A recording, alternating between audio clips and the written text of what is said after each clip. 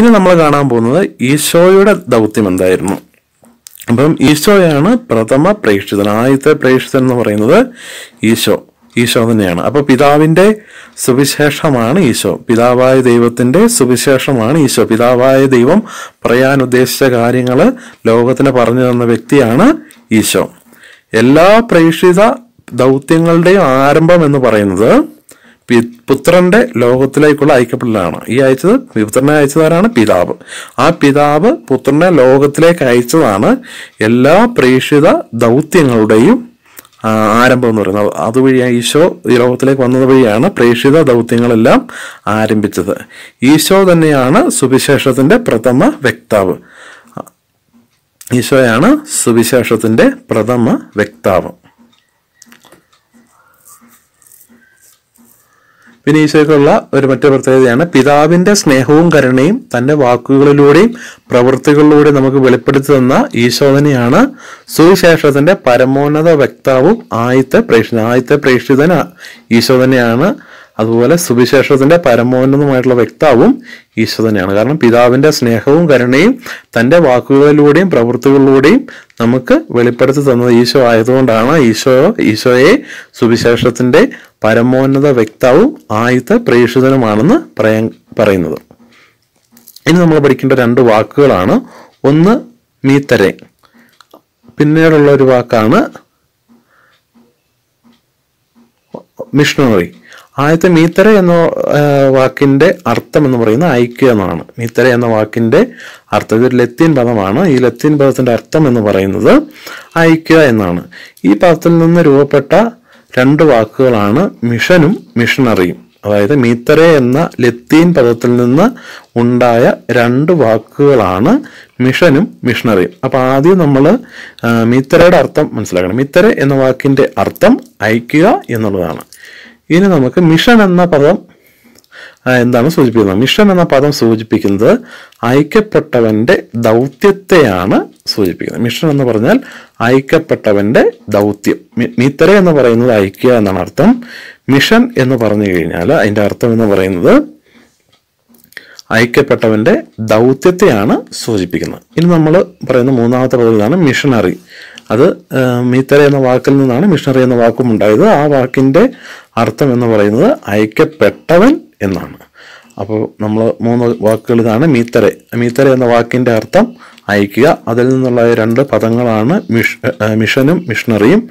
Mission എന്ന വാക്കിന്റെ അർത്ഥം അയക്കപ്പെട്ടവന്റെ ദൗത്യത്തെ സൂചിപ്പിക്കുന്ന വാക്കാണ് മിഷൻ. മിഷണറി എന്ന് പറഞ്ഞാൽ അയക്കപ്പെട്ടവൻ എന്നാണ് സൂചിപ്പിക്കുന്നത്. ഇനി ഒരു പ്രധാനപ്പെട്ട ക്വസ്റ്റ്യൻ ഇതാണ്. പ്രഥമ പ്രേക്ഷിതനായ ഈശോ നസ്രത്തിലെ സിനഗോഗിൽ വെച്ച് തന്റെ പ്രേക്ഷിത ദൗത്യം പ്രഖ്യാപിക്കുന്നു. അതെന്താണെന്നാണ് ഒരു പരീക്ഷയ്ക്ക് ചോദിച്ചാൽ അതിങ്ങനെയാണ്. കർത്താവിന്റെ ആത്മാവ് എന്റെ മേലുണ്ട്. ദരിദ്രരെ സുവിശേഷം അറിയിക്കുവാൻ അവിടുന്ന് എന്നെ അഭിഷേകം ചെയ്തിരിക്കുന്നു. ബന്ധിതർക്ക് മോചനവും അന്തർക്ക് കാഴ്ചയും. അടിച്ചമർത്തപ്പെട്ടവർക്ക് സ്വാതന്ത്ര്യവും കർത്താവിന് സ്വീകാര്യമായ വത്സരവും പ്രഖ്യാപിക്കുവാൻ അവിടുന്ന് എന്നെ അയച്ചിരിക്കുന്നു. ഇതാണ് സിനിമയിൽ വച്ച് ഈശോ തന്റെ പ്രേക്ഷക ദൗത്യം പ്രഖ്യാപിക്കുന്ന തിരുവചന ഭാഗം. അങ്ങനെയാണ് കർത്താവിന്റെ ആത്മാവ് എന്റെ മേലുണ്ട്. ആത്മാവ് ഉള്ളതുകൊണ്ട് എന്താണ് ദരിദ്രർക്ക് സുവിശേഷം അറിയിക്കുവാൻ അവിടുന്ന് എന്നെ അഭിഷേകം ചെയ്തിരിക്കുന്നു.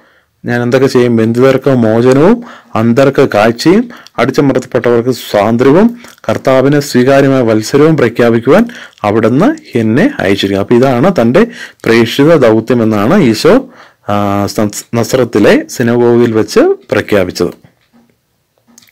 ആ, അപ്പൊ തന്റെ ദൗത്യം ലോകത്തിന്റെ രക്ഷയാണെന്നാണ് ഇതിന്റെ അകത്ത് നമ്മൾ മനസ്സിലാക്കുന്നത് ഈശോ തന്റെ പ്രേക്ഷിത ദൗത്യത്തിന്റെ അകത്ത് ചെയ്യുന്നത് ലോകത്തിന് രക്ഷ നേടിക്കൊടുക്കുക എന്നുള്ളതാണ്. അപ്പം രക്ഷ നേടിക്കൊടുക്കാൻ താൻ വന്നിരിക്കുകയാണെങ്കിൽ ആ രക്ഷയുടെ ദിനങ്ങൾ ആരംഭിച്ചു കഴിഞ്ഞു. അതിനുള്ള ശ്രമങ്ങൾ തുടങ്ങിക്കഴിഞ്ഞു അല്ലെങ്കിൽ ആ ദിനങ്ങൾ ആരംഭിച്ചു കഴിഞ്ഞു എന്ന് ഈശോ പറയുന്നുണ്ട്.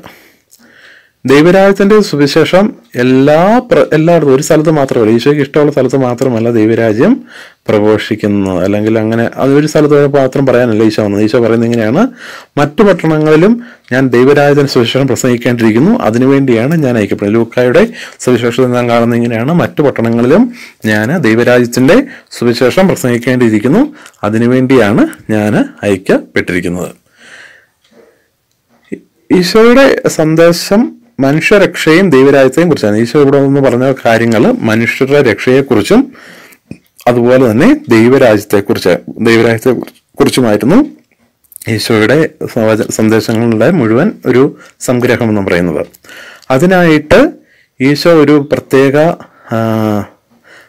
ദൈവ ദൈവസ്നേഹത്തിലും പരസ്നേഹത്തിലും മൂന്ന് ഒരു ജീവിത ശൈലിയാണ് അവിടെ നിന്ന് സ്വീകരിച്ചതും പ്രഘോഷിച്ചതും. ഈശോ ഇതെല്ലാം നമുക്ക് ദൗത്യം പൂർത്തിയാക്കിയത് തന്റെ ജനനം ജീവിതം പ്രബോധനം അത്ഭുതങ്ങൾ പീഡാനുഭവം മരണം ഉത്ഥാനം സ്വർഗാരോഹണം എന്നിവ വഴിയാണ് ഈശോ തന്റെ ദൗത്യം പൂർത്തിയാക്കിയത്. ഈശോ തന്റെ ദൗത്യം പൂർത്തിയാക്കിയ കാര്യങ്ങൾ ഇതാണ് തന്റെ ജനനം. തന്റെ ജനനം എന്ന് പറയുമ്പോൾ ഈശോ കാലിത്തൊഴുത്തിൽ ഒരു സാധാരണ കാരനായിട്ട് വന്ന് ജനിച്ചു. തന്റെ ജീവിതം ആദ്യം പരസ്യ ജീവിതകാലത്ത് മാതാപിതാക്കന്മാർക്ക് വിധേയപ്പെട്ട് ജീവിച്ചു. പ്രബോധനം. ഈശോ സ്വർഗരാജ്യത്തിന്റെ രഹസ്യങ്ങൾ നമുക്ക് പറഞ്ഞു തന്നു നമുക്ക് മനസ്സിലാക്കി തന്നു അത്ഭുതങ്ങൾ ആ പറഞ്ഞ കാര്യങ്ങൾ സ്ഥിരീകരിക്കാൻ വേണ്ടി അത്ഭുതങ്ങളിലൂടെ നമ്മളെ വീണ്ടും വീണ്ടും ശക്തിപ്പെടുത്തി. അതിനുശേഷം പീഡാനുഭവം പീഡാനുഭവം മരണം. ഇതിന്റെ അകത്തൂടെ എന്താണ്? നമുക്ക് നമ്മളെ പാപത്തിൽ നിന്ന് രക്ഷിക്കാൻ വേണ്ടിയിട്ട് ഈശോ പീഡാനുഭവവും മരണവും ഏറ്റെടുത്തു. അവസാനം ഉദ്ധാനത്തിലൂടെയും ഉദ്ധാനം ചെയ്തു. അല്ലെ? ഉദ്ധാനം ചെയ്തു കഴിഞ്ഞപ്പോഴത്തേക്ക് നമ്മൾ നമ്മളെന്താണ് വീണ്ടും ശക്തിപ്പെടുത്തുകയാണ്. തന്റെ സുവിശേഷ ദൗത്യം ശിഷ്യന്മാർക്ക് പകർന്നു കൊടുത്ത് സഭയെ കൂടുതൽ ശക്തിപ്പെടുത്തുകയും ചെയ്യുന്ന ഒരു പ്രത്യേക ശൈലിയായിരുന്നു ഈശോയുടേത്. ഇത് നമ്മൾ പറയാൻ പോകുന്നു പരിശുദ്ധാത്മാവിനെ കുറിച്ചാണ്. പരിശുദ്ധാത്മാവിന് ഒരു ദൗത്യമുണ്ട്. ഈശോ നേടിത്തന്ന രക്ഷ സ്വന്തമാക്കുവാൻ നമ്മളെ സഹായിക്കുന്ന വ്യക്തിയാണ് പരിശുദ്ധാത്മാവ്. ഈശോ നേടിത്തന്ന രക്ഷ നമുക്ക് തന്നിട്ടുണ്ട്. അതിന് നമ്മളെ സഹായിക്കുന്ന ഒരു വ്യക്തിയാണ് പരിശുദ്ധാത്മാവ്. പരിശുദ്ധാത്മാവ് സഭയിൽ വസിക്കുന്ന സഭയിൽ വസിക്കുകയും സഭയെ സജീവമാക്കുകയും. പരിശുദ്ധാത്മാവിന്റെ ദൗത്യമാണ് സഭയിൽ വസിച്ചുകൊണ്ട് സഭയെ സജീവമാക്കുക അതിനെ ഊർജം നൽകുക എന്നുള്ളതാണ് പരിശുദ്ധാത്മാവിന്റെ ദൗത്യം. പരിശുദ്ധാത്മാവിന്റെ പ്രവർത്തനം കൂടാതെ സുവിശേഷ പ്രഘോഷണം സാധ്യമല്ല അതായത് നമുക്ക് ശരിയായ രീതിയിൽ സുവിശേഷം പ്രഘോഷിക്കണമെന്നുണ്ടെങ്കിൽ പരിശുദ്ധാത്മാവിന്റെ പ്രവർത്തനം കൂടാതെ അല്ലെ പരിശുദ്ധാത്മാവിന്റെ അഭിഷേകം കൂടാതെ നമുക്ക് സാധ്യമല്ല. അത് നമ്മൾ മത്തായിയുടെ സുവിശേഷത്തിൽ കാണുന്നുണ്ട്. പരിശുദ്ധാത്മാവിന്റെ അഭിഷേകം സ്വീകരിച്ചുകൊണ്ടാണ് ഈശോ തന്റെ പരസ്യ ജീവിതം തുടങ്ങുന്നത്. ഈശോ പരസ്യ ജീവിതം ഈശോ പരസ്യ ജീവിതം തുടങ്ങുന്നത് എങ്ങനെയാണ്? പരിശുദ്ധാത്മാവിന്റെ അഭിഷേകം സ്വീകരിച്ചുകൊണ്ടാണ്. അതുപോലെ തന്നെ നമ്മൾ കാണുന്നുണ്ട് പ്രാർത്ഥിക്കുവാനായിട്ട് ഈശോ മരുഭൂമിയിലേക്ക് പോകുന്നുണ്ട്. ആ മരുഭൂമിയിലേക്ക് പോകാൻ ഈശോയെ നയിച്ചതും പരിശുദ്ധാത്മാവാണ്. പിന്നെ നമ്മൾ ശിഷ്യന്മാരെ സുവിശേഷകരെ കഴിക്കുന്ന അവസരത്തിൽ നമ്മൾ പരിശുദ്ധാത്മാവിനെ സ്ത്രീയന്മാർക്ക് നിശ്വസിച്ചുകൊണ്ട് അവരെ നൽകുന്നതായിട്ട് അവരൊക്കെ ശക്തി നൽകുന്നതായിട്ട് നമ്മൾ കാണുന്നുണ്ട്. പരിശുദ്ധാത്മാവിന് ശക്തി സ്വീകരിച്ചതിന് ശേഷം മാത്രമേ സുവിശേഷ പ്രഘോഷണത്തിന് ഇറങ്ങാവൂ എന്ന് ഈശോ ശിഷ്യന്മാരോട് പറയുന്നത് അതിങ്ങനെയാണ് ഉന്നതത്തിൽ നിന്ന് ശക്തി ധരിക്കുന്നവരെ നഗരത്തിൽ തന്നെ വസിക്കുവിൻ. അതായത് പരിശുദ്ധാത്മാവ് നിറഞ്ഞതിന് ശേഷം മാത്രമേ നിങ്ങൾ എന്ത് ചെയ്യാവുള്ളൂ? സുവിശേഷം പ്രസംഗിക്കാവുള്ളൂ. അതായത് പരിശുദ്ധാത്മാവാണ് സുവിശേഷ പ്രഘോഷണത്തിന് നമ്മളെ അതിന് സഹായിക്കുന്ന വ്യക്തി. അതുകൊണ്ട് എന്ത് ചെയ്യണം? പരിശുദ്ധാത്മാവിൽ നിന്നുള്ള ശക്തി നിങ്ങൾക്ക് ലഭിച്ചെങ്കിൽ മാത്രമേ നിങ്ങൾ സുവിശേഷം പ്രസംഗിക്കുവാൻ വേണ്ടി നിങ്ങൾ ഇറങ്ങാവുള്ളൂ. പിന്നെ നമ്മൾ പന്തക്കോസ്താദനത്തിലാണ് പരിശുദ്ധാത്മാവിനെ നമ്മൾ കാണുന്നത്. പരിശുദ്ധാത്മാവിന്റെ സാന്നിധ്യം കാണുന്നത് പരിശുദ്ധാത്മാവിനെ നമ്മൾ കാണുന്നത് തീനാവുകളുടെ രൂപത്തിലാണ്. പരിശുദ്ധാത്മാവ് പന്തക്കുസ്ഥാപനത്തിൽ തീനാവുകളുടെ രൂപത്തിൽ സ്ലേഹന്മാരുടെ മേൽ എഴുന്നള്ളി വരുന്നതായിട്ടാണ് നമ്മൾ കാണുന്നത്.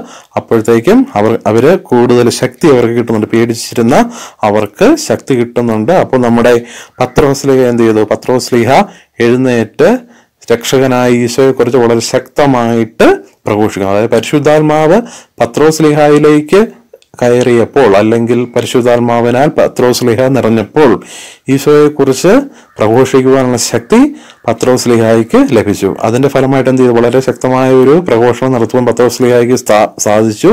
അതിനോടൊപ്പം അതിന്റെ ഫലമായിട്ട് മൂവായിരത്തോളം പേര് ഈശോയുടെ നാമത്തിൽ സ്ഥാനമേറ്റു സ്നാനമേറ്റു അതിന്റെ ഫലമായിട്ട് സഭ ഉദ്ഘാടനം ചെയ്യപ്പെട്ടു. അങ്ങനെയാണ് സഭ ഉണ്ടായത് പന്തക്കുസ്ത ദിനത്തിലാണ് സഭ സ്ഥാപിക്കപ്പെട്ടത്. അന്ന് പരിശുദ്ധാത്മാവ് പത്രോസ്ലിഹായുടെ പത്രോസ്ലിഹായുടെ മേൽ നിറഞ്ഞതിന്റെ ഫലമായിട്ടാണ് പത്ര സഭ ജന്മം കൊടുക്കുന്നത് അല്ലെങ്കിൽ ആ അന്ന് നടത്തിയ പ്രഘോഷണത്തിന്റെ ഫലമായിട്ടാണ് ഒത്തിരി പേര് മൂവായിരത്തോളം പേര് ഈശോയുടെ നാമത്തിൽ സ്നാനം സ്വീകരിച്ചുകൊണ്ട് സഭയിലേക്ക് കടന്നു വരുന്നത്.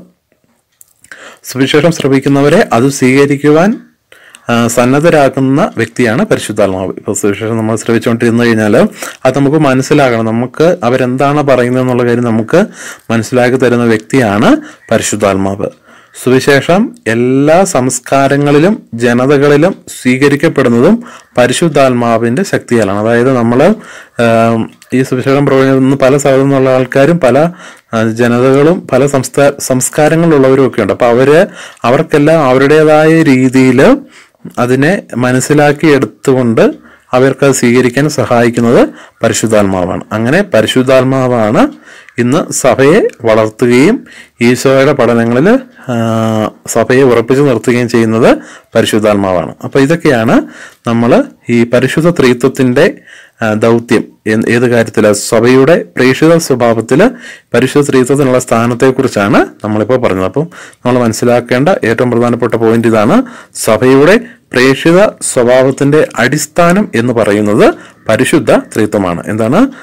പരിശുദ്ധ ത്രിത്വമാണ് സഭയുടെ പ്രേക്ഷിത സ്വഭാവത്തിന്റെ അടിസ്ഥാനം.